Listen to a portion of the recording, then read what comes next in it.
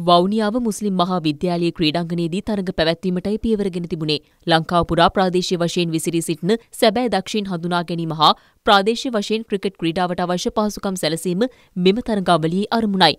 සැහැල්ලු පන්දු cricket තරඟාවලියට LG අමාන්ස් පූර්ණ අනුග්‍රහය ලබා දෙන අතර මාධ්‍ය අනුග්‍රහය ලබා දෙන්නේ ස්වාධීන රූපවාහිනී මාධ්‍ය ජාලයයි. තරඟාවලියේ සියලු සංවිධාන හා අධීක්ෂණ කටයුතු ලංකා සැහැල්ලු පන්දු ක්‍රිකට් සම්මේලනයේ සිදු කරනු ලබනවා.